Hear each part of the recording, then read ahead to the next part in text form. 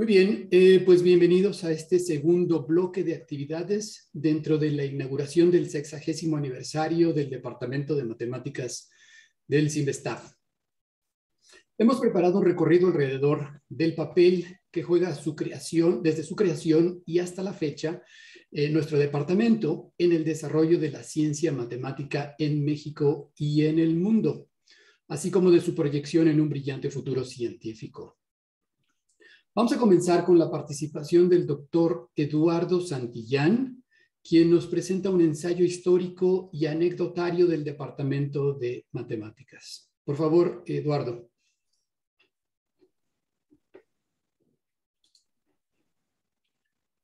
Tu micrófono, Eduardo. No se escucha. Perdone. Bueno, de entrada quiero agradecer la invitación a dar una conferencia en estas celebraciones.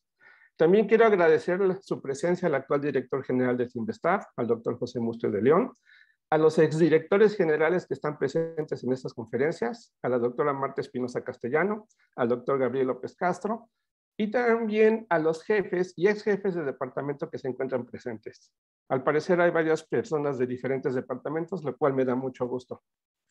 Finalmente, también pido una disculpa a todos los investigadores que no mencioné, la verdad es muy difícil mencionar a todos los participantes en solamente media hora. Déjenme compartirles. Listos. Creo que ya se ve bien la presentación.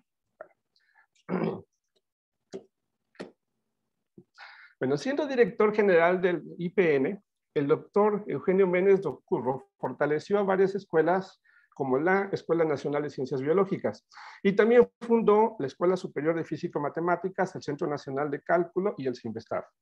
El mismo doctor Méndez Docurro explica en sus conferencias las razones para estas acciones. Era necesario educar profesores especializados, pues mis maestros de biología eran médicos, mientras que los de física o matemáticas eran ingenieros. Además, se inspiró en las tesis de uno de los ideólogos del Politécnico, el astrónomo Luis Enrique Erro, quien escribió la columna vertebral de la educación universitaria es la historia. La columna vertebral de la educación técnica son las matemáticas. Una vez preparado el proyecto original del SIMBESTAF, se invitó al doctor Arturo Rosenblut como director general, quien para aceptar pidió analizar y modificar el proyecto. Él era muy meticuloso. En particular, insiste que la investigación científica debe ser parte fundamental del SIMBESTAF, desde el nombre mismo. Así, en 1961 se inician actividades con el siguiente personal y en las instalaciones de la Unidad Profesional Adolfo López Mateos, en el área de laboratorios ligeros, la Escuela Nacional de Ciencias Biológicas y la Escuela Superior de Físico-Matemáticas.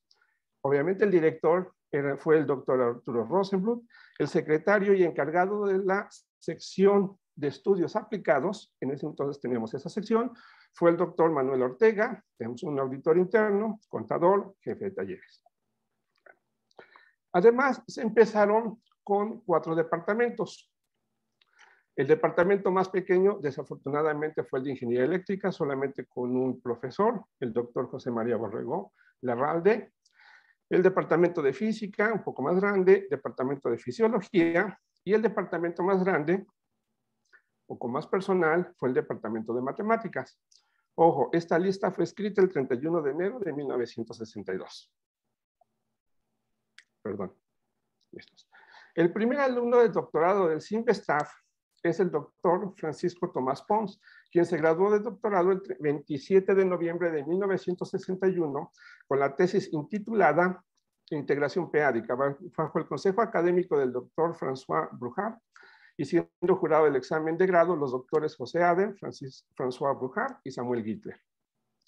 Con la calidad de sus investigadores, el departamento empieza a desarrollar tres áreas, álgebra moderna, ecuaciones diferenciales y topología.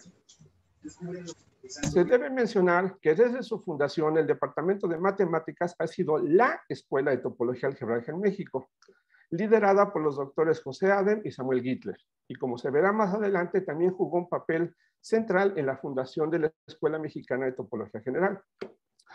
Las actuales instalaciones son inauguradas el 5 de julio de 1963 por el director general del IPN, el ingeniero José Antonio Padilla Segura. Los departamentos de matemáticas y física comparten edificio. Matemáticas está en la planta alta y física teórica en la planta baja. Aquí quisiera hacer un pequeño entremés histórico. Una pregunta interesante es conocer qué interacción se dio entre el grupo de ecuaciones diferenciales liderado por el doctor Carlos Simas con el grupo de física teórica liderado por el doctor Jerzy Plebansky. Creo que esta es una pregunta que deben de contestar los historiadores del CIMBESTAF. Igual al 5 de julio de 1963 se tenían siete estudiantes graduados. Continuando con la historia del departamento, en 1967 el profesor José Adem es honrado con el Premio Nacional de Ciencias y Artes en el área de Ciencias Físico-Matemáticas y Naturales. Entre 1965 y 1973 se contratan 15 investigadores para fortalecer al departamento. Entre estas contrataciones podemos contar a los líderes de las siguientes áreas y escuelas de las matemáticas. Al doctor Luis Gorostiza se le contrató en probabilidad en 1972, es un líder del área en estos momentos. El doctor Enrique Ramírez de Arellano en análisis complejo en 1969. El doctor Alberto Berhovsky en sistemas dinámicos.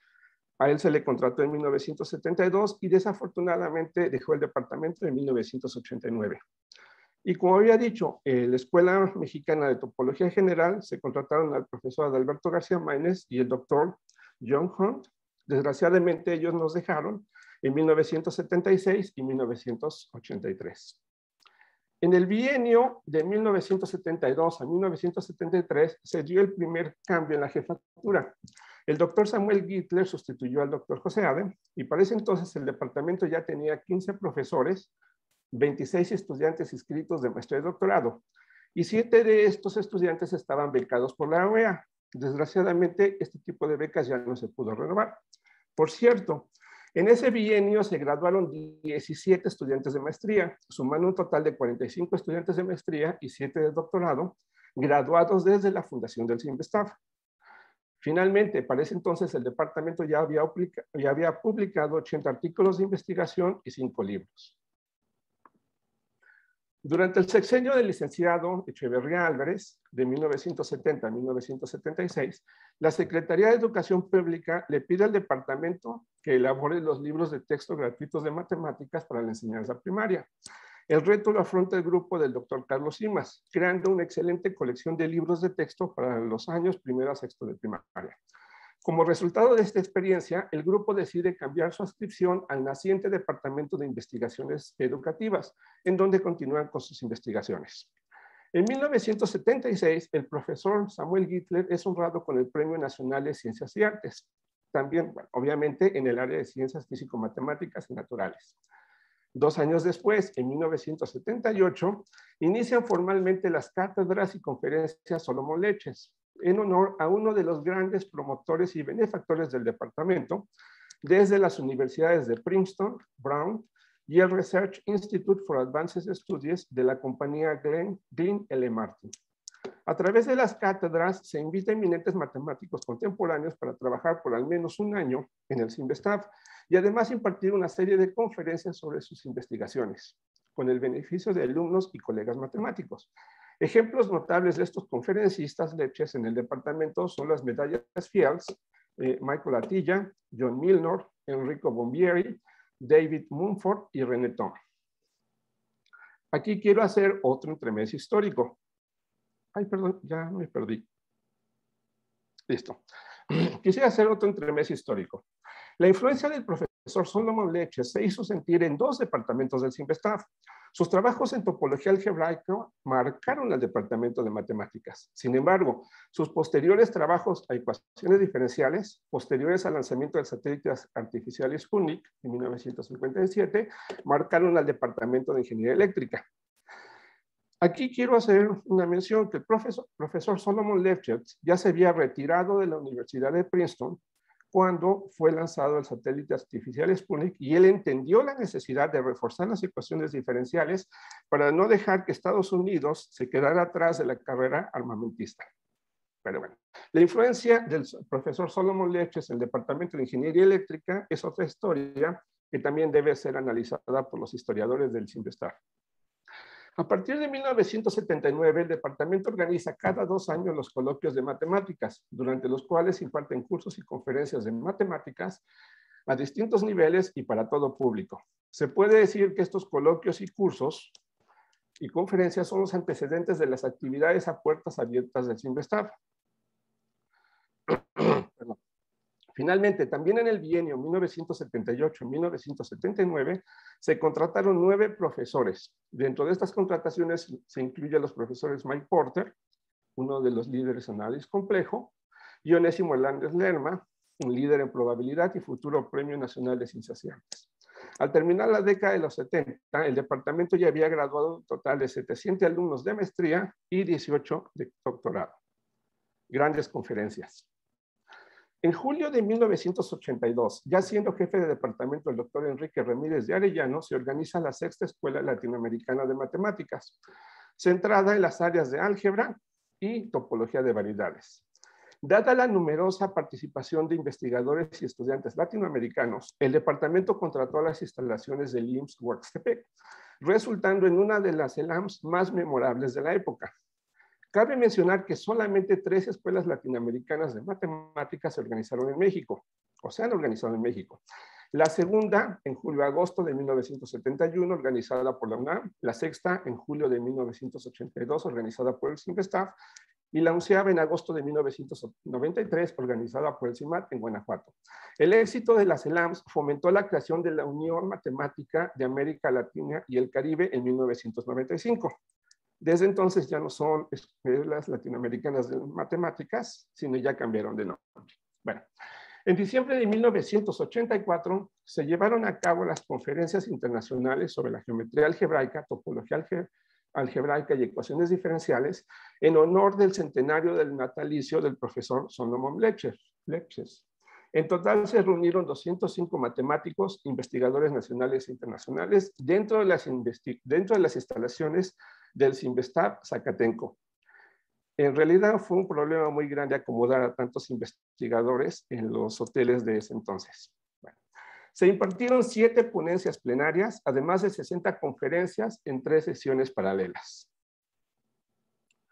Al año siguiente también se, impuso un récord con el coloquio de matemáticas de 1985, el cual se lleva, se lleva a cabo cada dos años pues se reunieron a 206 profesores y estudiantes de ciencias o ingeniería de diversas universidades estatales, institutos tecnológicos y escuelas de enseñanza media superior del país. El objetivo fue promover el desarrollo de las matemáticas en las diversas universidades e institutos tecnológicos de México, además de fomentar la producción de libros de texto nacionales de matemáticas a nivel avanzado. Así, se ofrecieron 10 cursos, 13 conferencias, tres talleres de investigación y se elaboraron 10 textos con las notas de los cursos. Toda esta actividad implicó que en el bienio 84-85 se publicaran 24 libros y un promedio de 23 artículos de investigación al año. Más aún, la década de los 80 fue la época de oro de las cátedras Solomon Lepches, pues los investigadores eran contratados en el departamento por dos o tres años, eran profesores e investigadores contratados por dos o tres años, llegaron a convivir tres cátedras Solomon Leches contratadas en el mismo año. Perdón. En 1986, el profesor Samuel Gittler es aceptado como miembro del Colegio Nacional. Por otro lado, el doctor Rolando Cavazos Cadena es el primer alumno en recibir el premio Weizmann de la Academia Mexicana de Ciencias a las mejores tesis doctorales en el área de ciencias exactas. Su director de tesis fue el profesor Onésimo Hernández Lerma. Para concluir, en septiembre de 1989 había en el departamento 26 investigadores contratados, tres, cátedras son Leches y seis profesores visitantes. En la década de los 80 el departamento graduó a 58 alumnos de maestría y 11 de doctorado, sumando un total de 135 estudiantes de maestría y 29 de doctorado, graduados desde la fundación del CIMBESTAR. Más aún, también en la década de los 80 se publicaron 180 artículos de investigación y 110 libros crisis y renovación. La crisis económica de 1987 a 1989 significó un gran cambio para el departamento, pues el precio del dólar pasó de 914 pesos en 1986 a 2.225 en el 87 y a 2.942 en el 90. Esto provocó la salida de varios investigadores del departamento. Esto fue al terminar de 1989. A lo anterior se aunó el lamentable fallecimiento del profesor José Adem el 14 de febrero de 1991, La recuperación tomó años, pero para 1997 ya había 30 investigadores contratados. En parte esto se debió a la caída del muro de Berlín. Para afrontar la crisis, el departamento optó por reestructurar sus actividades y buscar financiamiento externo. De entrada se reestructuró el boletín de la Sociedad Matemática Mexicana. Recordemos que los profesores José Ade y Emilio Luis Riera rescataron el boletín en 1956 al editar y publicar su segunda serie. Posteriormente, el doctor Samuel Gittler sustituyó al profesor Luis Riera. Así, el fallecimiento del profesor Adem y el nombramiento del profesor Gittler en 1989 como jefe de departamento de la, de departamento de la Universidad de Rochester dejaron un vacío en el boletín. Este fue cubierto por el profesor Enrique Ramírez de Arellano al obtener financiamiento del CONACYT para editar y publicar la tercera serie del boletín en abril de 1995. En 1996 se organizaron diversas actividades para conmemorar el 35 aniversario del CIMBESTAF. Por ejemplo, se organizó el Simposio de Probabilidad de Procesos Estocásticos por el profesor Luis Golostiza, International Symposium in Complex Analysis of Related Topics por Enrique Ramírez de Arellano y Nikolai Vasilevsky, el taller de topología algebraica por Jesús González, en ese entonces acababa de ser contratado, el taller sobre control estocástico, ya después se llamó Seminario de Sistemas Estocásticos por el profesor Onésimo Hernández Lerma, el Seminario Internacional de Análisis Norte-Sur por los profesores Ramírez de Arellano y Nikolai Vasilevsky. Este seminario es interesante porque se lleva todos los años un año en el CIMBESTAF y otro año en la Universidad de Morelos. Es una, eh, se lleva un año en año en cada una de las dos universidades. El taller de investigación sobre aspectos combinatorios, computacionales y de optimización y topología y álgebra, ACOTA, organizado por los, en ese entonces por el profesor Isidoro Gittler y José Martínez Bernal, los últimos tres eventos se siguen llevando a cabo hoy en día, aunque en algunos casos los organizadores han cambiado. En 1995, los profesores Luis Gorostiza y Enrique Ramírez de Arellano organizaron dos sesiones especiales dentro del Second Joint Meeting entre la American Mathematical Society y la Sociedad Matemática Mexicana en el CIMAD de Guanajuato. Los temas de las secciones especiales fueron, por un lado, procesos estocásticos y por el otro lado, análisis complejo y teoría de operadores. En 1997 suceden dos eventos muy importantes. De entrada, se publica el primer fascículo de la revista de acceso libre y arbitraje estricto, Morfismos, cuyo objetivo principal es el ofrecer a los estudiantes adelantados un foro para que se publiquen sus primeros trabajos matemáticos y así desarrollen sus habilidades de escritura. Por otro lado, el departamento se muda a las nuevas instalaciones. Esa es una, una cuestión menor. El mismo año se revisan los planes de estudio. Como resultado, se crearon los cursos básicos de análisis funcional, combinatoria, geometría diferencial y probabilidad. Asimismo, se actualizan los cursos básicos clásicos de álgebra, análisis real, variable compleja y topología. Estos últimos se han estado impartiendo desde que se fundó el CIMBESTAB en 1961. De las decisiones más relevantes de ese entonces fue que el Consejo Académico Consultivo del CIMBESTAF aprobó la creación de la opción en matemáticas computacionales para la maestría. Es otra de los grandes logros que se tiene en el CIMBESTAF. Perdón.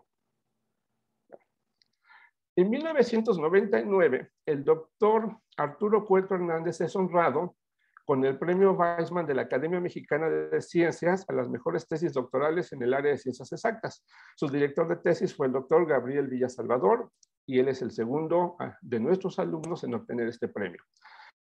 Ese mismo año había en el departamento ya 30 investigadores contratados y cuatro profesores visitantes. En la década de los 90 el departamento graduó a 56 alumnos de maestría y 18 de doctorado sumando un total de 191 estudiantes de maestría y 47 de doctorado graduados desde que se fundó el CIMPESTAF. Pese a la crisis, se graduaron más alumnos de doctorado que en la década anterior. Y más aún, en la década de los 90 se publicaron 236 artículos de investigación y 20 libros.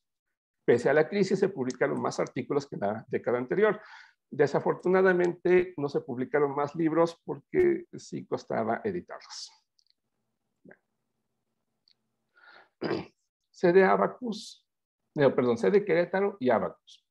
El nuevo milenio empieza con muy buenas noticias, pues en solamente tres años, De enero de 2000 a enero de 2002 se graduaron tres estudiantes de maestría y nueve de doctorado. También se publicaron más de 100 artículos de investigación. El promedio anual de, perdón, el promedio anual de artículos de investigación ha mostrado un incremento constante desde este año hasta la fecha actual. En 2001, el profesor Luis Gorostiza es nombrado investigador emérito del SNI y el profesor Onésimo Hernández Lerma es honrado con el Premio Nacional de Ciencias y Artes en el área de Ciencias Físico-Matemáticas y Naturales. En 2004, el doctor Carlos Enrique Valencia Oleta es honrado con el Premio Weizmann de la Academia Mexicana de Ciencia a las mejores tesis doctorales en el área de ciencias exactas. Su director de tesis fue el profesor Rafael Heraclio Villarreal. La vida departamental fue entonces marcada por la jefatura del doctor Isidoro Gittler de 2003 a 2011. Así, a partir de 2005 se consolidan las conferencias Solomon Lepchet Memorial Lecture Series con las ponencias de las medallas Fields, Michael Atilla, John Milner, Enrico Bombieri, David eh, Mumford y René Tom. Y además establecen las conferencias José Aden Memorial Lecture Series. Más aún, en colaboración con la National Academy of Science de los Estados Unidos, desde 2006 se organizan las ponencias NAS Staff Lectures. Desde la década de los 90 se planteó la posibilidad de fundar una segunda sede del departamento fuera de la Ciudad de México. Estas ideas cuajan. En 2006, bajo la jefatura del doctor eh, Isidoro Gittler, cuando, perdón, cuando inició funciones la sede Querétaro del departamento, con el fin de colaborar y dar servicio al Departamento de Investigación en Materiales del CIMBESTAF, a las facultades de Ingeniería y de Informática de la Universidad Autónoma de Querétaro, a los centros de investigación de la UNAM y Juriquilla, así como algunas universidades privadas con planteles en Querétaro. La sede Querétaro creció rápidamente y para 2011 ya contaba con cuatro profesores, ya había graduado a sus dos primeros alumnos de maestría y su primer alumno de doctorado. Más aún, desde el principio se ha mantenido una estrecha colaboración entre las sedes Querétaro y Ciudad de México del departamento, especialmente en materia de impartir cursos por videoconferencias. Esta experiencia ha sido de vital importancia para poder impartir cursos durante la cuarentena por COVID-19. También en 2011 es aprobada y financiada por CONACYT y el gobierno del Estado de México la propuesta para crear Abacus, el Laboratorio de Matemáticas Aplicadas y Cómputo de Alto Rendimiento. Este laboratorio del CIMBESTAB inicia funciones formales en abril de 2012 y está diseñado alrededor de la segunda supercomputadora más potente de México, la más potente de uso público, por cierto con una potencia real de 278 teraflops y teórica de, de 367. Las instalaciones están ubicadas en la zona boscosa de la Marquesa, municipio de Coyoacán, y desde su fundación colabora estrechamente con varias universidades de México, incluido el CEFONDEN de la Universidad Mexiquense del Centenario. Para concluir, entre enero de 2000 y agosto de 2010, el departamento graduó a 78 alumnos de maestría y 27 de doctorado sumando un total de 269 estudiantes de maestría y 79 de doctorados graduados en 50 años de vida del CIPESTAR. La última década, bueno, varios miembros del departamento han recibido una serie de distinciones en la última década, de 2008 a la fecha. La apreciada Lázaro Cárdenas la recibió el profesor Onésimo Hernández Lerma en 2008, el premio Scopus, Onésimo Hernández Lerma en 2008, eh, y también lo recibió el profesor Elías Michazaga en 2010, el premio Thomson Reuters, el profesor Onésimo Hernández Lerma en 2009, el premio eh, Ramanujan, el profesor Ernesto Lupercio en 2009, el premio Alejandro Escobar en Ciencias Exactas y Físicas y Naturales, el doctor Wilson Zúñiga Galindo en 2010, el premio de investigación a la Academia Mexicana de Ciencias en el área de Ciencias Exactas, el doctor Eduardo Santillán Cerón en 2011, la cátedra Marcos Moschinsky, el doctor Ernesto Lupercio Lara en 2012. Como ya había mencionado, los premios de la Academia, perdón, los premios Weizmann de la Academia Mexicana de Ciencias a las mejores tesis, tesis doctorales ya las había recibido Rolando Cavazos Cadena, Arturo Cuarto Hernández, el doctor Carlos Enrique Valencia Oleta. Volvimos a repetir con el doctor David González Sánchez, asesorado por Onésimo Hernández Lerma, Yorico Pitones Amaro en 2020, asesorado por el profesor Rafael Heraclio Villarreal Rodríguez, eh, obviamente el profesor Onésimo Hernández Lerma ya lleva dos alumnos asesorados que reciben este premio. De igual forma, el doctor Rafael Heraclio Villarreal ya lleva dos alumnos asesorados en la misma situación. El doctor Luis Gorostiza recibió el nombramiento de investigador nacional de mérito del SNI en 2001 y volvió a repetir el doctor Onésimo Hernández Nerma, volvió a recibir el mismo nombramiento como eh, investigador nacional de mérito en 2014. Del 1 de septiembre de 2010 a la fecha se publicaron 15 libros y 390 artículos de investigación. Además se dictaron 200 conferencias, tanto nacionales como internacionales. Pero lo más importante, el departamento graduó 89 alumnos de maestría y 75 de doctorado, sumando un total de 358 estudiantes de maestría y 150 de doctorados graduados desde la fundación del CIMBESTAR. En la última década se graduó la misma cantidad de alumnos de doctorado que en los primeros 50 años de vida del departamento. Y en la última década se graduó el 25% de todos los alumnos de maestría. Obviamente, no solamente quiero hablar sobre, esa es la historia en general del departamento, y también quisiera agregar unas palabras sobre lo que es el futuro. Con la nueva administración hay problemas sociales de las matemáticas que se pueden resolver y se deben de resolver en el departamento. El problema más importante, bueno, uno de los problemas más importantes que yo veo es el resolver el problema de los datos fiables en los modelos matemáticos sistemas de inteligencia artificial y sistemas expertos. Quisiera poner un ejemplo muy simple. Cuando uno se empieza a ver las noticias sobre el exceso de mortalidad en México por la pandemia de, de COVID-19, uno encuentra que la Secretaría de Salud anuncia que hay 509 mil muertes al 7 de agosto. The Economist anuncia que hay 471 muertes al 10 de junio, de julio, perdón. Y el Institute for Health Metrics and Evaluations anuncia que hay 571 mil muertes al 7 de agosto. Todos ellos tienen la misma información, que son las actas de defunción. ¿Cómo es posible que los tres, estos tres institutos o estos tres, eh, esos tres institutos den números completamente diferentes? Los análisis que está haciendo son análisis estadísticos, con excepción del Institute for Health Metrics and Evaluation, que es un análisis hecho a base de un sistema experto. Los números no coinciden de ninguna forma y es uno de los problemas que se deben resolver, que es cómo limpiar la calidad de los datos que se están tomando para que todos los eh, sistemas produzcan datos confiables. es un problema que en computación se llama garbage in, garbage out, de una forma muy explícita, muy genérica. Y eh, este es uno de los problemas que yo creo que el Departamento de Matemáticas puede influir, en los cuales el Departamento de Matemáticas puede influir.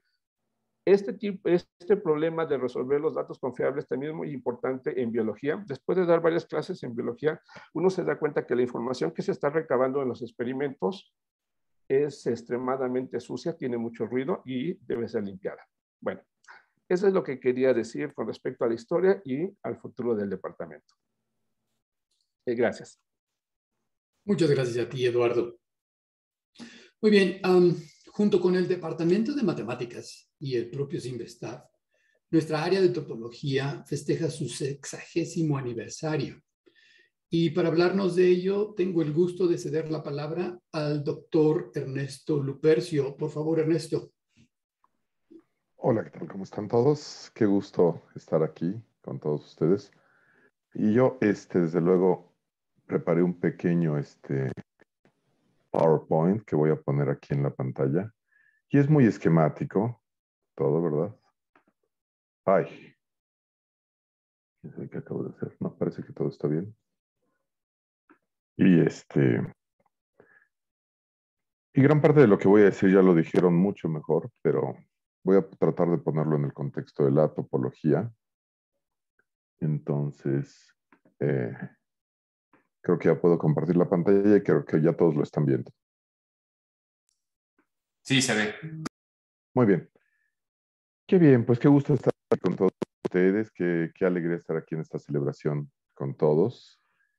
Y ya este, eh, pues después de la excelente eh, eh, descripción histórica de lo que pasó en el departamento en los últimos 60 años, Eh, yo quisiera solo enfatizar eh, un poquito eh, una de las, de las ramas de la investigación que han sido emblemáticas del departamento desde su inicio, que es la topología algebraica.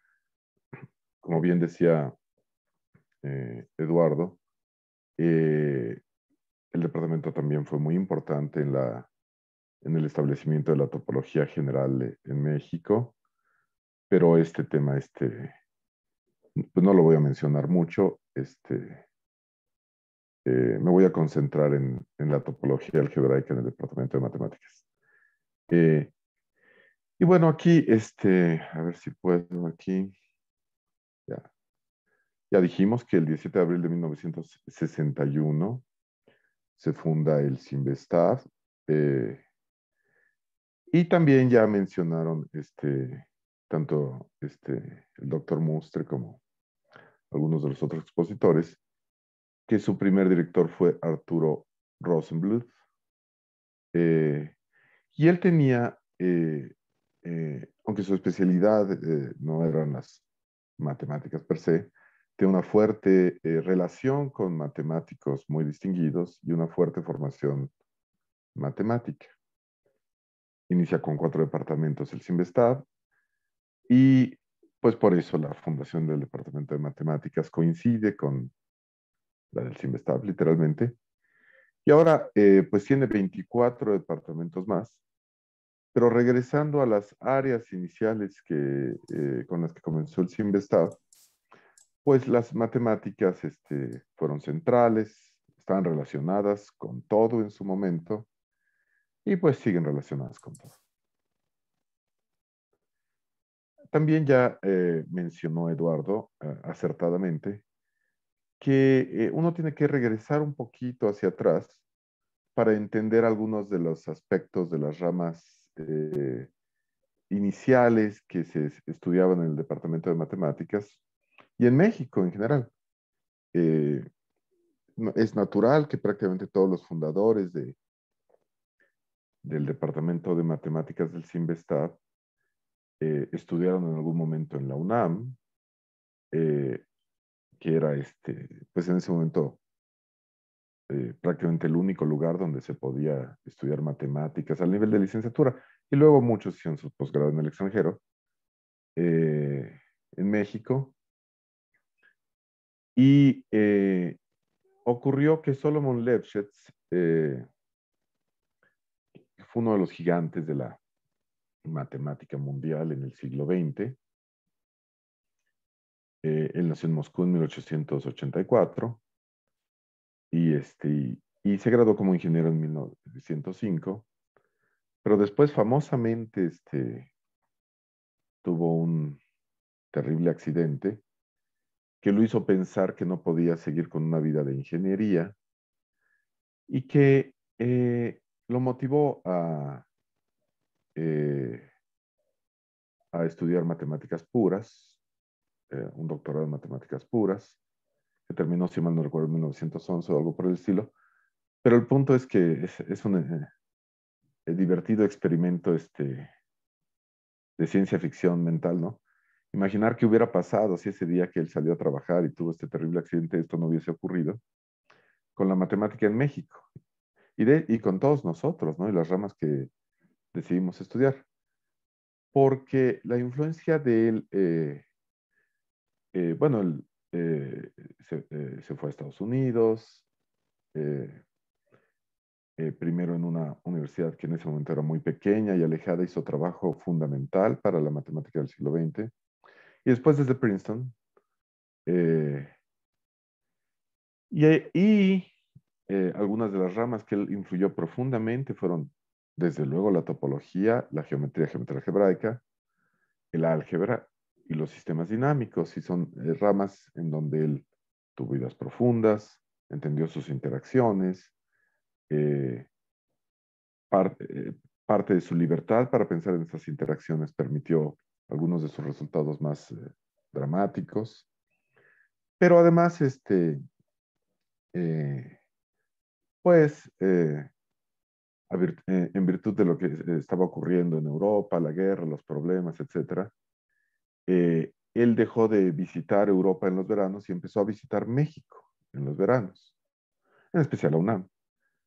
Y, eh, y su influencia fue eh, tremenda en, este, en la UNAM y en todos los estudiantes de la UNAM. Y nuevamente, la mayoría de los fundadores del Departamento de Matemáticas del Estado estudiaron en la UNAM, naturalmente, y fueron influenciados por Solomon Lefschetz.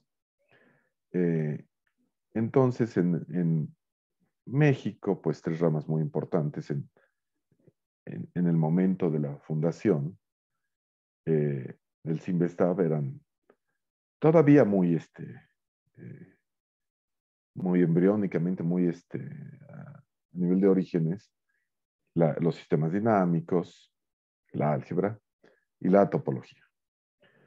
Y, eh, y dos de los, de los fundadores del Departamento de Matemáticas que hicieron prosperar a la topología algebraica de modo eh, asombroso en el departamento, eh, fueron enormemente influenciados por Solomon Lefschetz por este motivo. Eh, el, de hecho, las visitas de Solomon Lefschetz a México hicieron que, voy a pasarme esta un poco y regreso en un segundo, que eh, dos de los fundadores del Departamento de Matemáticas eh, fueron a estudiar a Princeton. Eh, y aunque en algún momento Solomon Lefschetz se había retirado de Princeton, desde luego él seguía yendo y tenía muchos contactos. sabía que era un departamento muy importante y, y, él, y él, eligió a algunos este, estudiantes mexicanos y dos de ellos este, fueron en momentos ligeramente distintos, José Aden y Samuel Hitler. Y todos los que conocen el Departamento de Matemáticas del Estado saben que su, su enorme talento, capacidad matemática, pero también eh, su, eh, asombrosa generosidad y personalidad y carisma fueron muy, muy importantes para, para las primeras décadas del departamento. Eh, de modo muy fundamental. Y entonces ambos estudiaron en Princeton, eh, bajo Norman Steenroth, eh, topología algebraica. Y bueno, voy a decir dos palabras muy breves ¿no? sobre la topología algebraica. Eh, ¿Qué es la topología algebraica? ¿no? Bueno, dice Vladimir Arnold, que es el arte de encontrar invariantes cosas que no cambian, cuando los espacios involucrados en el problema matemático eh, se eh, un ejemplo muy, muy conocido es el de la, taza y la dona, ¿no? Que es una broma de los eh, matemáticos, de los topólogos, que dicen que un topólogo no puede distinguir entre una dona, si le dan una dona con un café en un café, ¿no? No puedes distinguir entre la dona y el café, eh, porque los topólogos deciden no distinguir entre objetos que se pueden eh, deformar uno en el otro.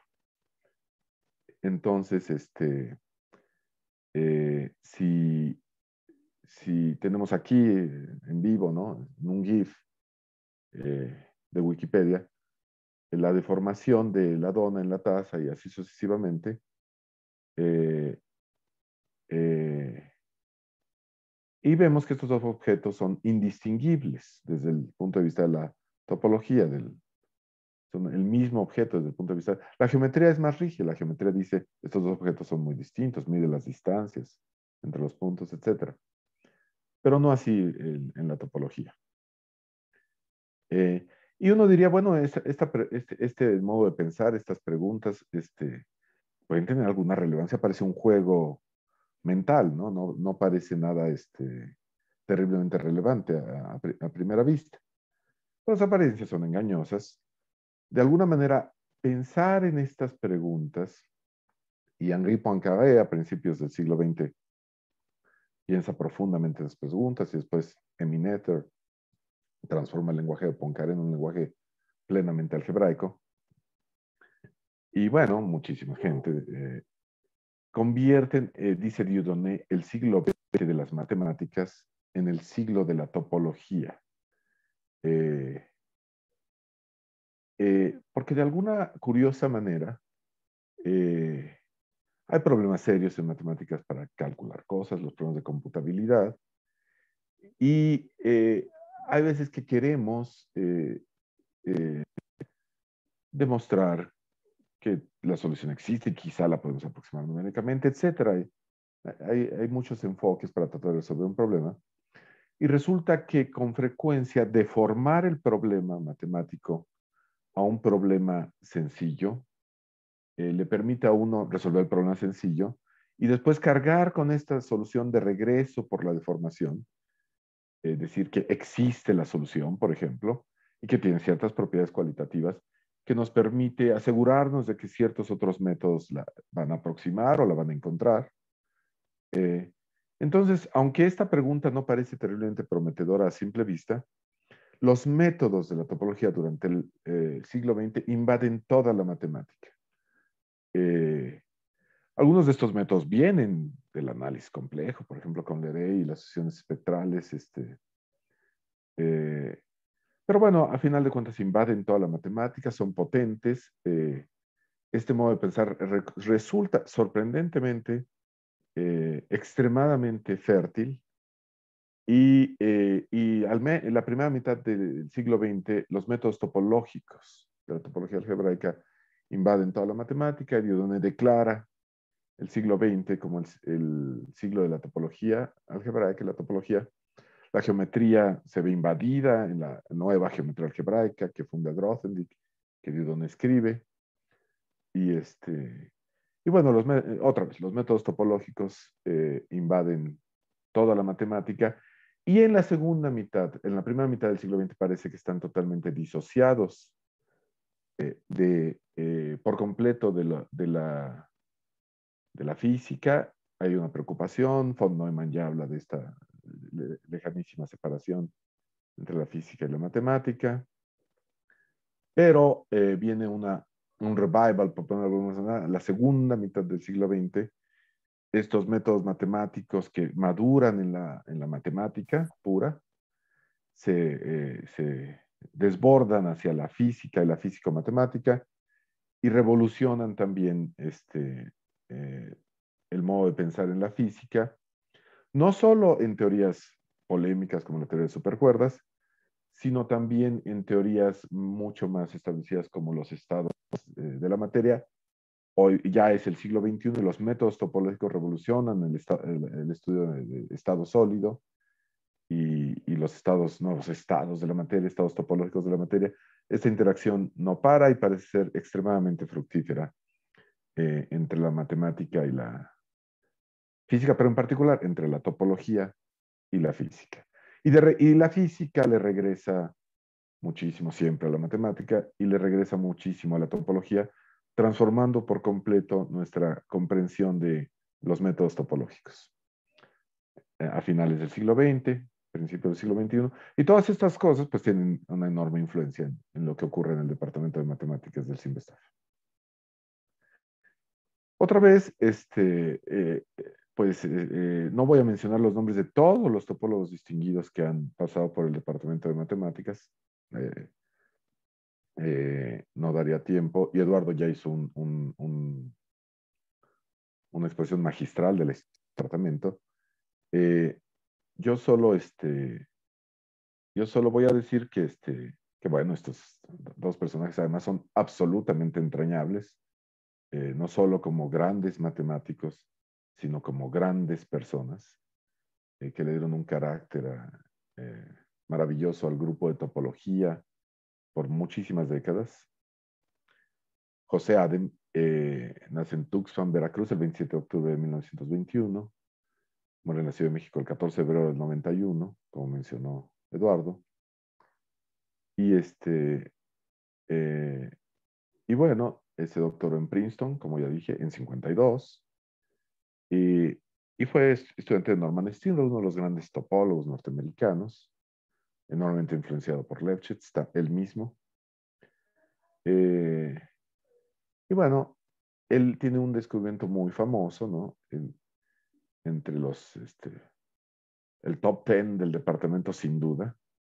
Eh, eh, bueno, hay descubrimientos muy importantes este, en análisis y en diversas ramas, pero sin duda uno de los descubrimientos más importantes por algún miembro del departamento fue las relaciones de Adem que es una estructura absolutamente fundamental en topología algebraica, que reside como un clásico de las matemáticas, en los libros de historia de las matemáticas, y que fue eh, un descubrimiento temprano de la tesis de, José Ade.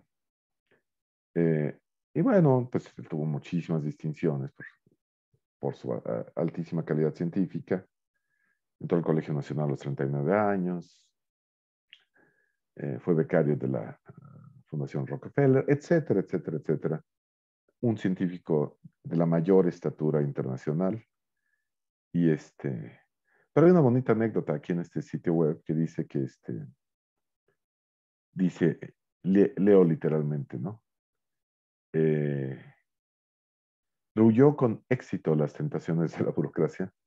A su amigo Jesús Reyes Heroles, entonces secretario de Educación, le rechazó al menos un ofrecimiento de regular envergadura una pregunta lapidaria. ¿Quieres así hacer de mí un matemático mediocre y un pésimo administrador? Eh, y a pesar de esto, desde luego, él fue eh, jefe del Departamento de Matemáticas eh, y consejero cercano del doctor Rosenbluth por muchísimos años, muy cercano a la dirección y, a, la guía de, del Sinvestav a lo largo de sus primeras décadas. Eh, matemático excepcional, José Adem. Eh, otro matemático que eh, yo a José Adem pues no llegué a conocerlo, pero a Sam Hitler lo conocí de modo extremadamente cercano y entrañable y, con enorme cariño. Y creo que muchísimos miembros del departamento podemos decir eso. su carisma y, y, maravillosa personalidad este, son todavía muy extrañados. Y bueno, aquí hay algunos datos de su currículum que se pueden encontrar en Wikipedia. Fue miembro del Colegio Nacional. Famosamente, él también tiene un descubrimiento importante en topología, en la, estructura de, de, la teoría de homotopía, ya quizá no de toda la topología algebraica con las relaciones de Adem, pero de la teoría de homotopía sin duda, que fue su especialidad, la especialidad de Sam, eh, que son, eh, desde luego, el espectro de Brown-Gittler, y muchísimas cosas más. Los teoremas memorables con Aden, inmersiones, etcétera, etcétera. Eh, pues otra vez, un científico de la, mayor de la mayor estatura internacional. Uno podía ir a un congreso en cualquier parte del mundo, en cualquier universidad del mundo, que, eh, que, se, que se, relacionara al tema de la topología. Y, y los nombres de Adem y Hitler eran referentes internacionales de la mayor estatura algo de lo mejor que ha tenido el Departamento de Matemáticas y, profesores literalmente fundadores. Y, este, y algo a lo, que este, pues todos, este, todos los estudiantes tienen que eh, mirar y aspirar.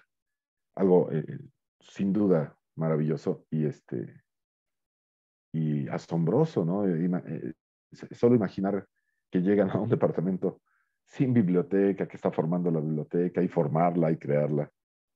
Qué sé yo, todos estos aspectos, este, eh, y además vivir en una era en que una llamada telefónica era carísima, que no, no podía hacer una llamada instantánea por internet o un correo electrónico, tenían que enviar cartas.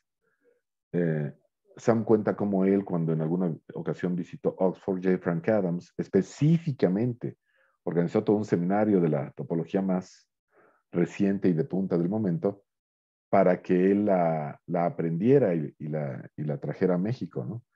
Eh, eran otras épocas, la energía, eh, eh, entusiasmo y buena voluntad y, capacidad de compartir que esto tomó son este, asombrosas y muy hermosas y, y parte del espíritu del Departamento de Matemáticas del CIMESTAT para siempre. El, Y claro, esto, esto ha sido cierto en todos los grupos del departamento, probabilidad, análisis, etcétera. Este, y también en topología. Eh, bueno, pues lamentablemente me, salto prácticamente toda la historia del departamento, ¿verdad? Los topólogos, muchos topólogos distinguidos pasaron, desde luego, eh, este, atraídos por Adem y Hitler. Eh, pero bueno, no, hay tiempo, ¿no? y voy a mencionar brevemente ahora este, Aquí me entiendo un poquito de contrabando a Juan Manuel porque su trabajo es tan bueno que no puedo no este, incluirlo. Pero quiero mencionar a los, eh, a los topólogos este, in order of seniority, ¿no? En orden de, este, este, del departamento. Y este, bueno, eh, los que están haciendo manteniendo viva esta tradición topológica tan hermosa del departamento. Eh, y bueno, pues voy a comenzar por Jesús González. Eh, él es pues un topólogo enormemente distinguido, con publicaciones de las mejores revistas de topología del mundo. Y, y, además, este, el único que de veras entiende con profundidad eh, la sesión espectral de, de, Adams, ¿no? Este, Jesús, este, pues ha estudiado eh, de modo, eh, ha llevado toda esta tradición de los temas que surgieron y evolucionaron en el Departamento de Matemáticas hasta, hasta el siglo XXI, los problemas de inmersión. Él ha entendido su relación con temas mucho más modernos como la complejidad topológica y lo ha llevado incluso hasta las aplicaciones. Eh, eh, entonces es impresionante el espectro de Jesús que va desde las herramientas teóricas más sofisticadas de la topología algebraica hasta aplicaciones directas al análisis. Eh, regresando un poco al tema que mencionaba Eduardo, de importancia, ¿no? de entender datos, etcétera, etcétera. Eh, Jesús es este experto en el departamento en la, famosa análisis topológico de datos, que ha sido una rama muy importante y muy este, eh, influyente en, el análisis de datos contemporáneo. Eh, es una de las aplicaciones inesperadas de la topología algebraica al mundo real. Me acuerdo que Miguel me decía hace años, ah, este, tienen ahí el libro Algebraic Topology with applications to engineering o algo por el estilo, bromeaba Miguel. Esto cuando éramos muy jóvenes. Y bueno, esto se, se volvió una realidad, ¿no? con el análisis topológico de datos. Los estudiantes de Jesús están en todo tipo de instituciones, pero incluso en, en IBM, ¿no? En, eh, creando algoritmos con análisis topológico de datos, etc. Entonces el espectro de Jesús es muy impresionante, yendo desde lo profundamente puro herramientas de topología algebraica muy este, sofisticadas, puras, hasta lo completamente aplicado. Eh, eh,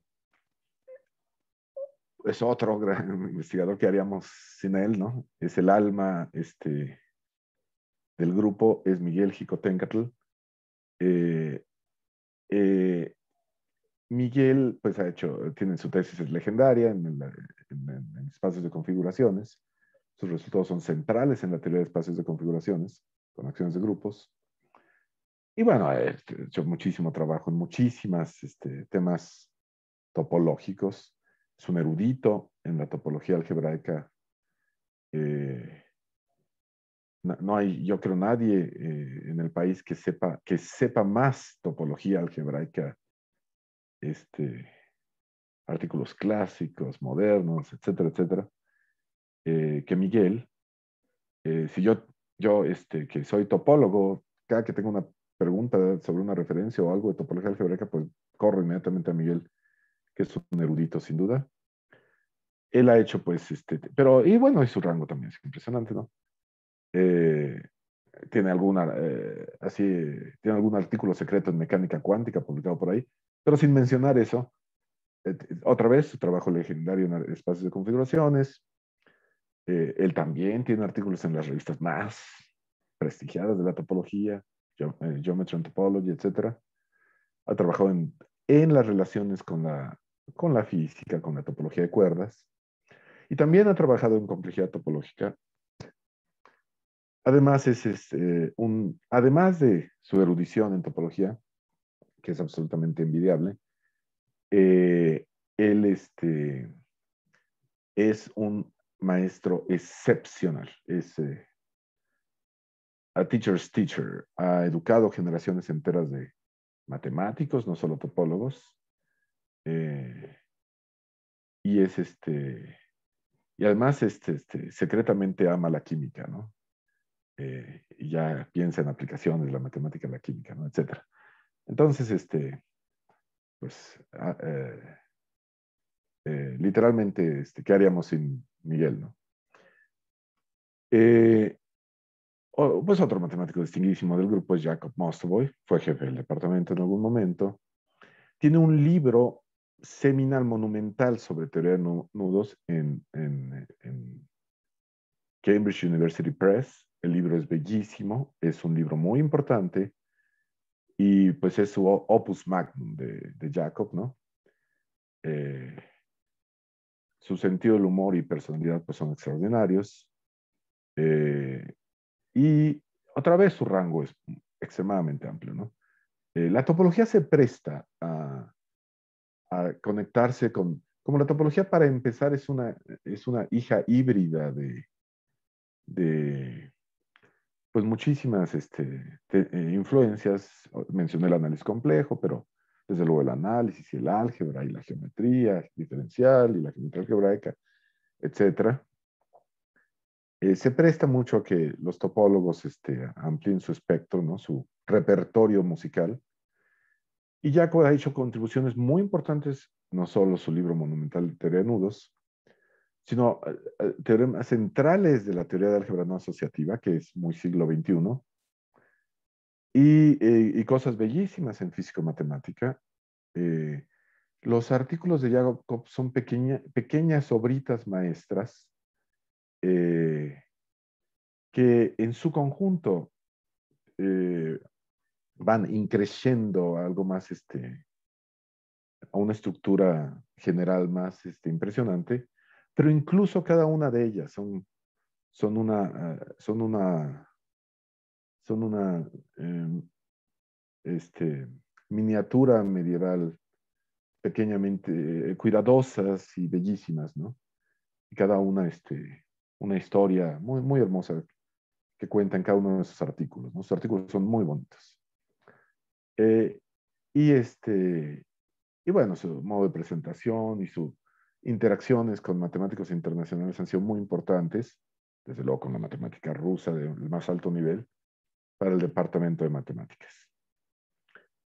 Y este, eh, me robo un poquito aquí porque él es físico matemático de corazón, pero ha hecho un trabajo importante en topología, topología, al revés, ha venido de la física matemática y la geometría de la topología, eh, a Juan Manuel Burgos, eh, catedrático conocido del departamento, eh, matemático extraordinario, futuro del departamento, es joven, simplemente acaba de mostrar una conjetura en, que tiene implicaciones importantes en ecuaciones diferenciales y sistemas dinámicos, en uno de sus últimos artículos. Y este, y su trabajo es brillante.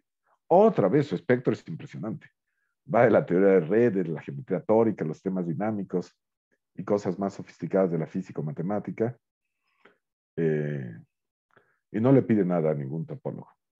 Entonces es este Juan Manuel, este, que desde el punto de vista principalmente de la geometría y la físico-matemática, tiene contribuciones eh, importantes en topología. Y tiene cierto pedigrí del Simvestab Juan Manuel, porque aunque él estudió en la UNAM su doctorado, lo estudió bajo la dirección de un investigador que todavía se puede decir que pasó más años en el Simvestab que en la UNAM, eh, Alberto Berhovsky. Entonces, este, pues tiene un, pedigrí de, de, los temas, eh, de los temas matemáticos del Simvestab, que son muy amplios, desde luego. eh, nuevamente este, ya, ya vendrán expositores este, de los otros grupos a, hablar de las, este, de las contribuciones importantísimas en análisis y en probabilidad este, que ha habido en el Departamento de Matemáticas del CIMESAF.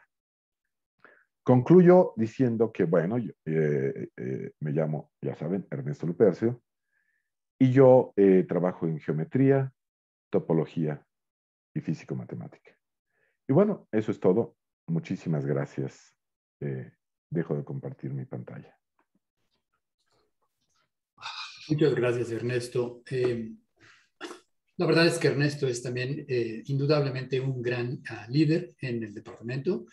Eh, no solamente eh, en, el departamento, eh, posiblemente el líder en el área de topología algebraica y en general sus relaciones. muchas gracias, Ernesto. vamos a continuar con esta muestra de la investigación que se realiza en el departamento. Tengo entonces el agrado de ceder la palabra al doctor Luis Gorostiza, profesor emérito de nuestro departamento quien nos hablará sobre la fenomenología en los sistemas aleatorios de partículas. Luis, adelante, por favor. Eh, bueno, muchas gracias por esta invitación. Eh, yo voy a hablar nada más, no tengo una presentación en pantalla. Eh, gracias por la invitación a dar esta plática y trato de responder a lo que me propuso nuestro jefe de departamento, Héctor Jasso, pero para empezar quiero eh, contar cómo fui contratado por este departamento porque no era fácil eh, siendo yo probabilista y lo que predominaba era la topología. Esto fue a principios de 1972. Cuando estudié una maestría en Estados Unidos en el Instituto Tecnológico de California, conocí a un famoso astrónomo mexicano que se llamaba Guido Munch, él me dijo que en México los únicos matemáticos que hacían investigación de nivel internacional eran José Adem y Samuel Gittler en el Centro de Investigación y de Estudios Avanzados del Politécnico. Eh, fue la primera vez que oí hablar de ellos y de esta institución. Eso se me quedó muy grabado. Años después, cuando regresé del doctorado, fui inmediatamente a ver al doctor Adem, que era el jefe del departamento, le dije que quería trabajar en el departamento y que mi campo era la probabilidad. Él me dijo que mejor fuera Limas en la UNAM, que allí hacían eso. Le insistí, le dije que mi tesis era sobre probabilidad en grupos. Me dijo que se la explicara y me pasó al pizarrón. Le expliqué de qué se trataba y cómo eran los resultados principales. Le interesó lo de grupos, eh, me hizo preguntas, vio que salía, que sabía salió a comentar brevemente con Samuel, regresaron los dos y me dijeron que me podían contratar. Nunca me vieron como un ente extraño, siempre tuve el apoyo de ambos y recuerdo en especial el trato siempre amable y generoso de Samuel. Más adelante, el doctor Aden propuso que contratáramos a más probabilistas, o sea que no le pareció mal la idea de tener probabilistas. Eh, aprovecho para decir que mi trabajo en el departamento siempre se ha facilitado por las buenas condiciones de trabajo y en especial por el apoyo del personal secretarial y técnico. Ahora sobre eh, uno de los temas que nos propone es la importancia de algunas de las áreas en las que he trabajado. Bueno, sobre eso me es difícil decir algo porque yo no he tratado de ser un experto en algún área, sino que he preferido entrar a distintas áreas que me interesaban y varias veces he cambiado de una a otra de manera completamente imprevista, ya sea por algo que alguien me dijo o algo que vi que me llamó la atención. Por ejemplo, en 1972 conocí a Alberto Ruiz Moncayo, que trabajaba en la UNAM. Él me contó lo que hacía en procesos de ramificación, eso me gustó, dejé la probabilidad en grupos y empecé a trabajar con él en ramificación. Ese fue el origen del tema del que voy a hablar, sistemas de partículas ramificadas. Por cierto, Alberto fue la primera persona que trabajó en México en ramificación y ahora hay muchos más. Es un área muy amplia con muchos aspectos matemáticos y muchas áreas de aplicación, sobre todo en biología. Como dije antes, he trabajado en varias áreas, me puse a contar, son aproximadamente 14 que pueden considerarse distintas, aunque algunas con relación entre ellas. En algunas áreas tengo solo uno o dos artículos publicados. Bueno, sistemas de partículas ramificadas. Trataré de explicar de manera muy general de qué se trata. La mayoría de lo que he hecho en esta y otras áreas ha sido con colaboradores, entre los que destaco a Donald Dawson de Canadá, Thomas Wojtecki de Polonia y Anton Bakolbinger de Austria Alemania pero también me han sido muy importantes los contactos con muchos otros matemáticos, ah, ya sea que hayamos colaborado o no. Bueno, doy unos ejemplos para explicar lo que es un sistema de partículas ramificadas. Pienses en una partícula que se mueve de manera aleatoria en un espacio euclidiano durante un intervalo de tiempo aleatorio, al final del cual sufre un cambio aleatorio. Un ejemplo muy sencillo sería una bola de billar que al chocar con otra cambia de dirección de manera aleatoria y así continúa hasta con, chocar con otra, etc. Otro ejemplo más interesante es el de los neutrones en un reactor nuclear de fisión. Un neutrón se mueve en cierta dirección hasta chocar con el núcleo de un átomo, entonces cambia aleatoriamente de dirección. Pero en este caso, al chocar con el núcleo puede ocurrir una fisión, es decir, se produce un número aleatorio de nuevos neutrones que salen en direcciones aleatorias distintas de manera ah, ah, independiente. Pero también puede suceder que el primer neutrón quede atrapado en el núcleo y entonces ahí muere y ya no pasa nada. Esto es un ejemplo de eh, ramificación. Entonces, en el caso de los neutrones, los, son importantes también sus energías inicialmente puede haber un aleatorio de neutrones. Este es un ejemplo de un sistema de partículas ramificadas donde las partículas son los neutrones. Otros ejemplos son células que se dividen en otras células y tienen alguna propiedad genética, partículas contaminantes en el aire que tienen tamaños aleatorios, por ejemplo las PM2.5, personas infectadas de COVID que tienen alguna carga viral y que pueden contagiar a otras personas y también pueden morir. Y hay muchas variantes de estos modelos. Por ejemplo, puede haber inmigración aleatoria de partículas, partículas de distintos tipos, por ejemplo, en lo del COVID, hombres, mujeres, intervalos de edades, varios niveles de ramificación, por ejemplo, toda una familia de partículas con un antepasado común pueden desaparecer simultáneamente o replicarse un número aleatorio de veces. O, por ejemplo, células con parásitos, las células se reproducen y los parásitos también se reproducen dentro de las células. En general, interesa conocer en cada tiempo cuántas partículas hay y cómo están distribuidas de manera aleatoria en el espacio de acuerdo con sus propiedades. ¿Qué sucede asintóticamente cuando el tiempo tiende a infinito o cuando se hacen cambios de escala en el tiempo y en los tamaños o las masas de las partículas? Eh, un problema importante es eh, calcular la probabilidad de que todo el sistema se extinga. Se buscan en general límites en promedio, tipo leyes de grandes números, eh, leyes, límites de fluctuaciones, tipo teoremas de límite central o límites más sofisticados, ecuaciones diferenciales estocásticas que satisfacen los procesos límites, límites de tiempo de ocupación en un intervalo dado en que una región del espacio está ocupada por partículas. Esto tiene aplicación, por ejemplo, en contaminación atmosférica. Y hay distintos tipos de resultados que dependen de relaciones entre la dimensión del espacio y parámetros del movimiento aleatorio y de la ley de ramificación. Eh, hasta ahora hemos supuesto que eh, el sistema de partículas eh, está dentro de un eh, espacio euclidiano, creo que lo dije al principio. Ahora, esto no es adecuado cuando hay que tomar en cuenta las relaciones que puede haber entre distintos partículas en cada tiempo. Por ejemplo, en genética de poblaciones hay que considerar las relaciones entre distintas partículas, por ejemplo, la distancia entre hermanos es, en un grupo de personas, la distancia entre hermanos es uno, la distancia entre primos es dos, entre primos segundos es tres, etc. Eh, no es una distancia eh, geográfica, sino una distancia que mide la relación de, familia entre personas.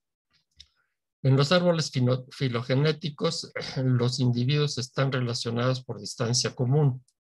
Esto lleva a usar espacios ultramétricos que tienen una distancia no, no, no arquimidiana, lo que quiere decir es que no se puede avanzar con pasos, y esto le da al espacio una organización jerárquica.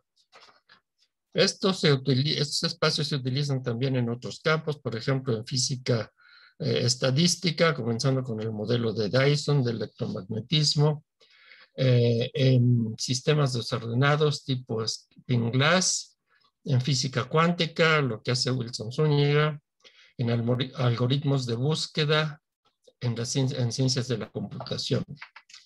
Los resultados tienen analogías y diferencias con los del caso euclidiano, pero los cálculos son muy distintos debido a la ultramétrica. Las matemáticas eh, para el estudio de sistemas de partículas tiene relaciones con otros campos de las matemáticas, por ejemplo, ecuaciones diferenciales parciales no lineales, espacios nucleares. Eh, lo, de los espacios nucleares es un tema de espacios vectoriales topológicos y se necesitan como espacios de estados para límites de fluctuaciones de sistemas de partículas. Ese tema me interesó mucho y tuvimos que, con mis colaboradores que estudiaron tanto, que hicimos unas contribuciones en él. El tema se inició con Laurent Schwartz, que introdujo la teoría de las distribuciones o funciones generalizadas para darle rigor a la delta de Dirac. Y también se usa para darle rigor al ruido blanco, que se usa en ingeniería electrónica y en otros campos.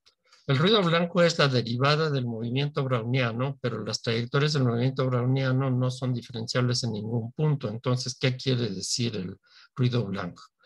Resulta que sus eh, trayectorias están en un espacio nuclear, más precisamente el dual de un espacio nuclear, eh, que se llama espacio de distribuciones temperadas de Schwartz. La teoría de los espacios nucleares fue desarrollada por Grothendieck, que fue estudiante de Schwartz. Los procesos límites de fluctuaciones de sistemas de partículas toman valores en espacios de distribuciones de Schwartz y dan lugar a procesos de Wiener generalizados en el caso eh, euclidiano solo hay un, eh, un, proceso de Wiener o movimiento browniano eh, estándar, pero en el caso generalizado hay muchos procesos de Wiener generalizados que toman valores en esos espacios. esto llevó a desarrollar integración estocástica y ecuaciones diferenciales estocásticas en espacios nucleares, y otras personas siguen llevando más lejos lo que hicimos, sobre todo con Boyetsky. Eh, también aquí aparecen los eh, eh, ruidos blancos en espacio-tiempo que mencionó David Noalarte en su plática. otros procesos que surgen de esto son los procesos estocásticos de memoria larga. Eh, resultan de límites de fluctuaciones de tiempos de ocupación de sistemas de partículas, ya sean ramificados o no. Eh, los procesos eh, estocásticos de memoria larga no tienen la propiedad de Markov que sí tienen el, tiene el movimiento uraniano, que consiste en que dado el estado actual se olvida el pasado, mientras que los procesos de memoria larga conservan la memoria indefinidamente. El ejemplo más conocido y usado es el de los movimientos brownianos fraccionarios, que se parecen al movimiento browniano, pero no tienen la propiedad de Markov, pero sí coinciden en que los incrementos son estacionarios. El movimiento browniano fraccionario surgió, en matemáticas aplicadas eh, por medio de estudios de hidrología y luego tuvo mucha difusión en matemáticas debido a Mandelbrot. Ahora, gracias a lo que yo sabía de procesos de ramificación, se me ocurrió una manera de obtener procesos de memoria larga más, más generales que los eh, movimientos brownianos fraccionarios y los llamé movimientos brownianos subfraccionarios debido a que en cierta forma están entre el movimiento browniano usual y el movimiento browniano fraccionario. La diferencia está en que en el caso del subfraccionario no son estacionarios. Otros procesos de memoria larga se obtienen también como límites de fluctuaciones eh, de sistemas de partículas más generales. eh, incluso en el caso de espacios ultramétricos. Bueno, un comentario sobre el nombre subfraccionario. Lo pensé, lo pensé también porque sabía que en mercadotecnia ponerle un nombre atractivo a un producto puede contribuir mucho a su éxito y de hecho así sucedió. Sobre esto voy a comentar luego. Ahora, sobre la forma, eh, otro tema propuesto es la forma que mis trabajos han contribuido a definir el estado del área. Bueno, eh, eh, no he tratado de hacer eso, entre otras cosas, como ya lo mencioné, porque he estado cambiando mucho de un tema a otro y me ha interesado más iniciar algo nuevo, ya sea solo o en colaboración. Y esto eh, sucedió con el movimiento baroniano subfraccionario, que estudié principalmente con Thomas Wojdeski y su ex estudiante Ana Talarczyk. Eh, estudiamos varias propiedades matemáticas eh, de ese eh, proceso, pero otros investigadores los han estudiado más a fondo y otros han hecho aplicaciones en estadística y principalmente en matemáticas financieras, en particular evaluación de, evaluación de opciones, aprovechando la flexibilidad de que el fraccionario no tiene incrementos estacionarios. Bueno, ese es el tema en el que más eh, se han citado mis trabajos, pero es claro que yo no puedo decir que haya contribuido a ese campo en el que no he hecho nada. Ahora, sobre grupos de trabajo. Bueno, no ha habido grupos de trabajo como tales, eh, pero lo he hecho en sistemas de partículas ramificadas. Ha sido en gran parte con mis colaboradores Dawson y Wackelbinger que ya mencioné primero con cada uno por separado y más adelante los tres juntos. Los procesos eh, estocásticos en espacios nucleares, eh, bueno, de esto creo que me lo voy a saltar porque ya, como empecé tarde. Nada más quiero mencionar que en el caso de Wojdeski, eh, la colaboración con él se inició en 1976-77 en el marco de un acuerdo que se estaba planeando eh, con la Academia de Ciencias de Polonia. En cuanto a formación de recursos humanos, eh, no he tenido muchos estudiantes de doctorado porque eh, al estar cambiando de un tema a otro no era fácil encontrar estudiantes que tuvieran los conocimientos básicos necesarios para darle, darles temas de tesis en cosas que apenas estaban empezando y eso hacía que se alargaran mucho las tesis, los tiempos de tesis más bien. Eh, también debo decir que he ahuyentado a algunos estudiantes, pero algo importante que quiero mencionar es que de los estudiantes que he tenido ha habido más mujeres que hombres. Eh, para terminar, quiero decir algo sobre algo que me han eh, preguntado muchas veces, que es cómo me interesé en la teoría de la probabilidad. Bueno, yo hice la carrera de ingeniería civil y un profesor en la carrera que trabajaba en ingeniería sísmica me habló de la importancia de calcular probabilidades de falla en estructuras sometidas a perturbaciones estocásticas como sismos, como el de ayer, huracanes, otros, por ejemplo, la falla en la línea 12 del metro. Eso me gustó mucho. Eh, y yo, eh, como no había cursos de probabilidad, entonces me puse a estudiar por mi cuenta. Me llamó mucho la atención la formulación matemática de los fenómenos aleatorios, los resultados más importantes que ya se conocían y el que hubiera tantas áreas de aplicación, aunque yo no he hecho nada en aplicaciones, sino nada más en la parte puramente matemática. Eh, también eso me ayudó, el estudio de la probabilidad me ayudó a estar consciente de que vivimos en un mundo en el que hay efectos aleatorios de muchos tipos que debemos tomar en cuenta para tomar decisiones como salir con paraguas de acuerdo con el pronóstico de probabilidad de lluvia o ver al cielo. Siempre hacemos estimaciones de probabilidades, todo el mundo lo hacemos aunque no estemos muy conscientes de eso. También, por ejemplo, la probabilidad de contagiarnos de COVID ahora y mucho más. Entonces, ese fue el origen de mi interés en la probabilidad y con eso termino. Muchas gracias. Luis, muchas gracias. Ah, muy bien, vamos a concluir este segundo bloque de actividades con la participación del doctor Michael Porter, quien nos hablará de la riqueza de las transformaciones en las matemáticas. Eh, Michael, por favor. Muchas gracias. Ah, pues buenos días a todos. Ah, yo voy a intentar mostrar algunas de las ideas matemáticas que han aparecido en mi trabajo y esperadamente aclarar de alguna manera su importancia científica de la invitación gentil que recibí, pues la entendí de que fuera de punto de vista personal y unas experiencias que, que he tenido. Y antes de, de, empezar, quisiera pues hacer reconocimiento de cómo estamos celebrando los uh, tiempos de, de en los 43 años que tengo aquí en esta institución. Uh, hacer el reconocimiento a todos los administradores que han uh, hecho el trabajo que es mucho menos placentero, por lo menos de mi perspectiva, que el trabajo de la investigación. Y que este tipo de colaboración que los administradores, por una parte, uh, que han facilitado, pues ellos también han, han, hecho de las dos cosas. Y también agradecer a todos los uh, trabajadores y personas de apoyo de, a todos los niveles que han hecho posible que el CIVESTA llegue a donde está hoy en día durante estos uh, 60 años. Entonces voy a hablar un poco de, de mi investigación y mis experiencias y uh, en particular voy a hablar de uh, varios tipos de, de, transformaciones.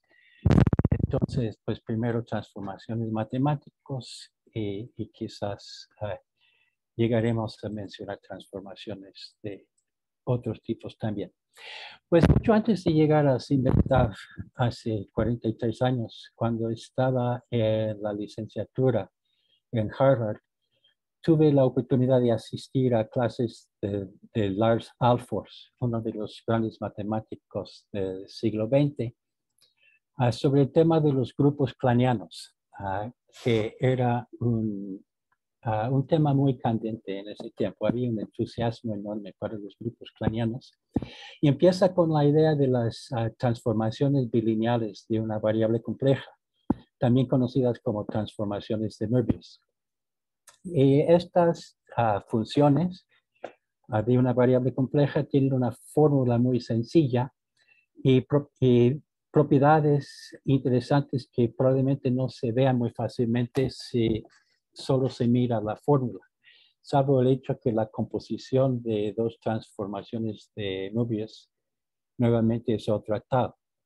Las uh, transformaciones de Möbius mandan círculos a círculos, o como se dice uh, más informalmente, transforman círculos en otros círculos.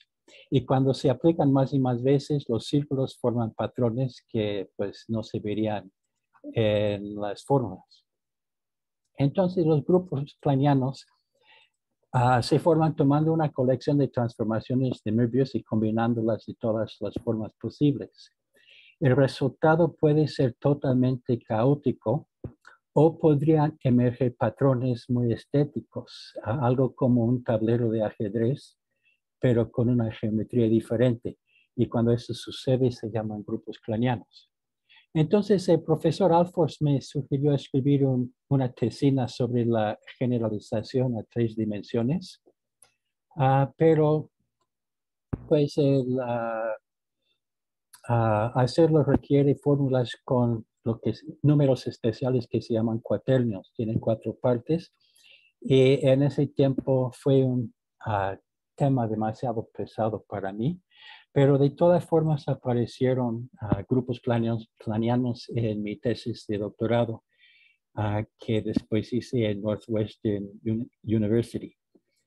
Y pues cabe mencionar que uh, en esos tiempos cuando estudiaba en la zona de Chicago, en forma anecdotal, mi profesor de topología algebraica, que era una eminencia en la teoría de homotopía, uh, nos dio a todos una calificación en una boleta parcial, uh, una, una, calificación de incompleto. Y pues que me extrañó mucho porque según, según estaba al corriente con todos sus trabajos del curso. Pero lo que pasó es que ese señor uh, nos aplicó un examen, puso todos los exámenes en su maleta, ah, fue a México a pasar las vacaciones de fin de año con sus colegas ah, topólogos en México y cuando reclamé mi calificación en enero, pues fue cuando, me enteré de la existencia de Sinvestar, aunque todavía no sospechaba que iba a pasar el resto de mi vida ahí.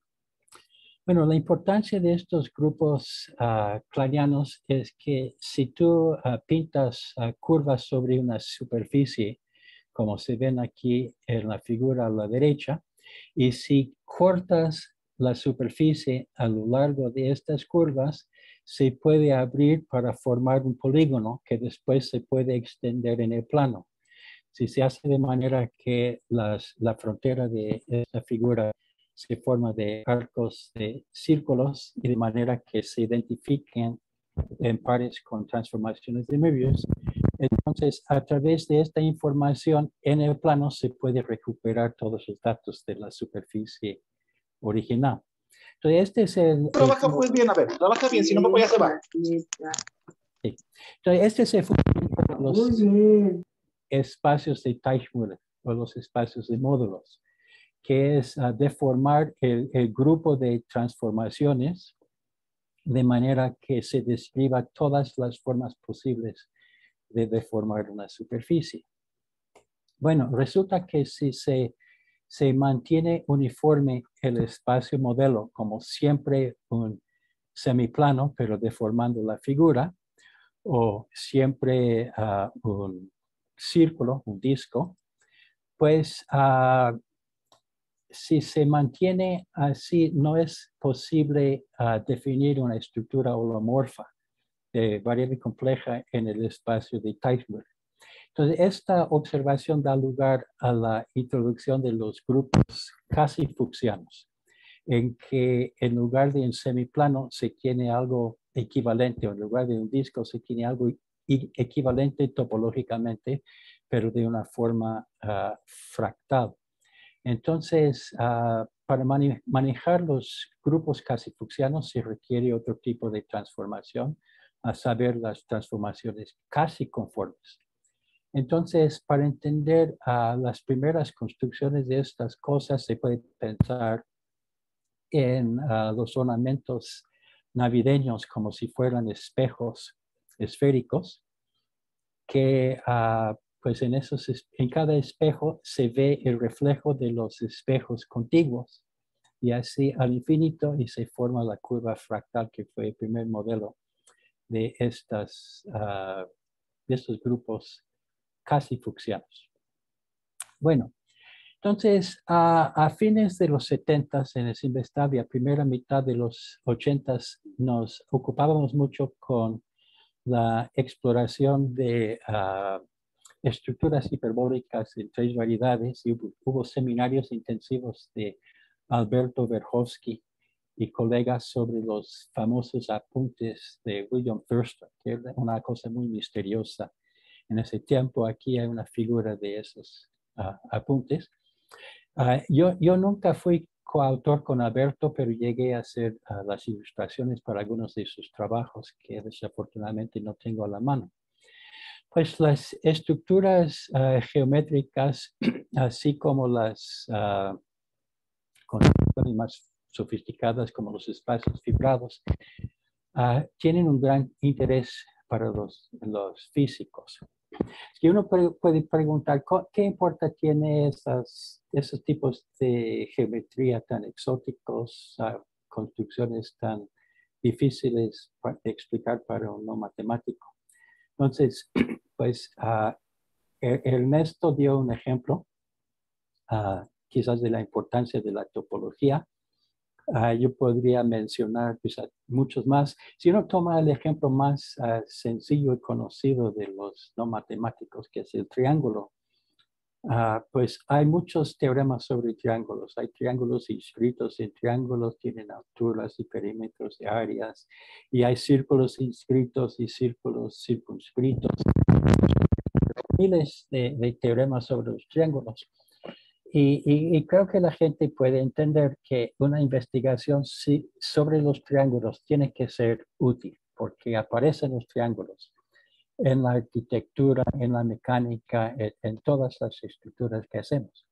Pues de la misma forma, estas estructuras aparecen detrás de cosas que quizás no se ven tan fácilmente hasta no explorarlo un poco más a fondo. Entonces, en un artículo que escribí para la revista Ciencia en 1989, ah, expliqué la manera en que el espacio de Teichmüller, que son las deformaciones de diferentes tipos de servicios, de, superficies, perdón, se usaba en la teoría de cuerdas. En la teoría de cuerdas, pues se toma una partícula en, una partícula en el espacio-tiempo, entonces la vida de la partícula, que es un objeto teóricamente puntual o cero dimensional, y su extensión en el tiempo forma una cosa unidimensional, o sea, su trayectoria. Pero en el caso de la teoría de las cuerdas, las partículas se reemplazan por pequeños lazos. Entonces, estos, estos lazos, cuando se mueven en el tiempo, se desarrollan para formar ah, una superficie. Cuando la partícula se divide en, en, dos partículas, que es uno de los procesos físicos que se, se observan, o cuando la partícula, dos partículas se unen y forman una partícula nuevamente, esto corresponde a cambios en la topología. Para calcular ah, propiedades físicas de, ah, de la partícula, lo que se tiene que hacer es hacer un promedio estadística por, sobre todas las posibilidades probabilísticas de vida de la partícula y esto viene siendo una integración sobre precisamente el espacio de Teichmüller. Esta es la importancia para los físicos. Menciono anecdotalmente que ah, un alumno del Departamento de Física ah, de esos tiempos Ah, con mucho afán para aprender esas cuestiones abstractas matemáticas. Sobre superficies de Riemann, llevó un curso de ese tema y ah, ahora es director de la Unidad Querétaro. Bueno, en mis primeros años en el Simvestar me dedicaba a investigar las formas caóticas y no caóticas que pueden ocurrir con las transformaciones de Möbius. Y hubo mucho, mucha colaboración con el visitante Daniel Gallo, que se quedó muchos años más. Y actualmente ah, en México la mayor parte de la investigación en grupos clarianos se encuentra en la UNAM. De todas formas, en 1987 mi primer alumno de doctorado, Lina Reséndiz, esencialmente hizo su tesis sobre la teoría de las transformaciones casi conformes y mi único nieto académico Ah, también trabaja en ese campo. Entonces, un, ah, hilo común en, en, en una gran parte de mi, investigación ha sido transformaciones que conservan algún tipo de estructura, ah, como las transformaciones conformes y las casi conformes. Entonces, originalmente en esos tiempos, eh, cuando yo era estudiante, por ejemplo, era difícil calcular ejemplos.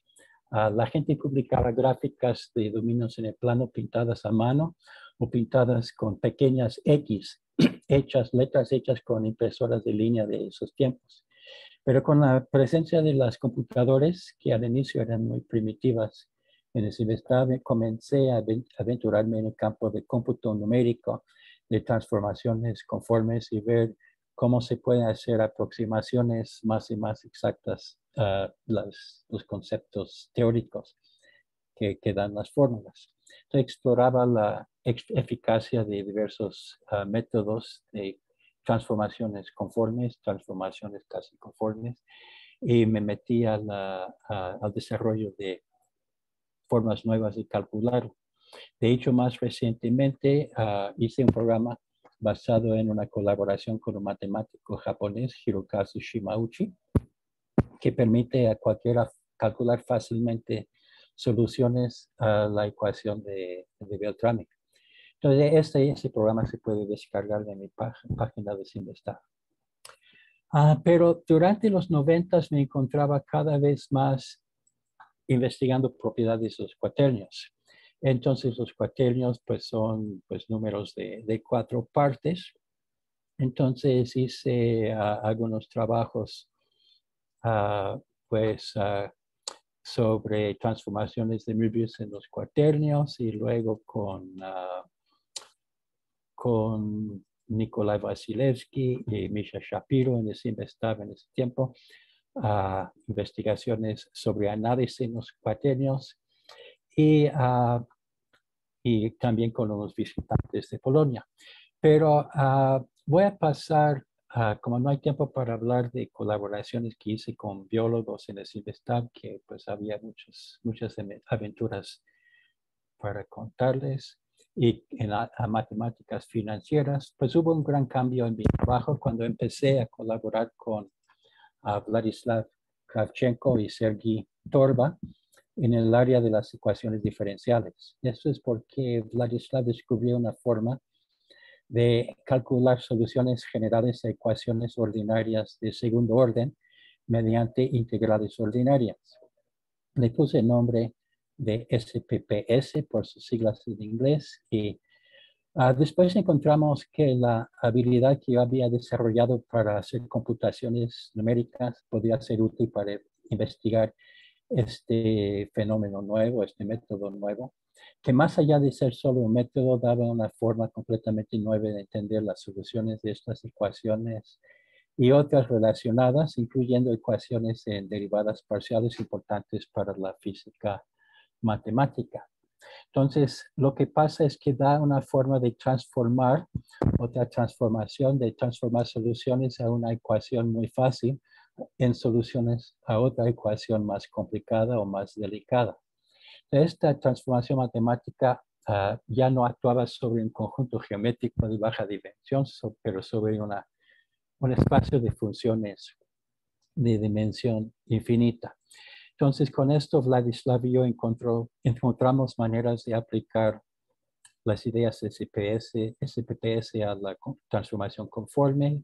Continué eso con Philip Brown de Texas A&M University, pero siempre me perseguían los cuaternios. Entonces, entré a trabajar en serio con el análisis cuaternio cuando la tesis de doctorado de una alumna, Cintia Álvarez, produjo un nuevo tipo de funciones que muchos trabajadores expertos en el campo pensaban que no existían, que llamamos las ah, funciones contragénicas, y eso posibilitaba la siguiente ah, técnica para demostrar el resultado se demuestra para tres casos, para las funciones monogénicas, las antimonogénicas, ortomonogénicas y luego para las contragénicas y queda todo probado. Entonces, otros alumnos han seguido investigaciones en estos y las ideas pues ramificaron más y más ah, porque resulta que ah, muchas ecuaciones diferenciales importantes de la física matemática pueden transformarse en ecuaciones uh, eh, de funciones cuyas variables son cuaterniónicas o obedecen otra estructura similar a los cuaternios.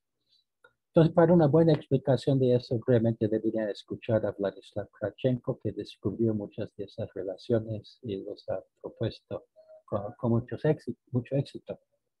Pero, ah, pues, una alumna de doctorado reciente, Briseda Delgado, usaba técnicas de análisis cuaternio hace dos años para resolver un problema que estaba abierto desde más de un siglo y tiene una verbalización muy sencilla. Encontrar un campo vectorial con divergencia y rotacional prescritas. Ese es el problema y encontró la solución completa.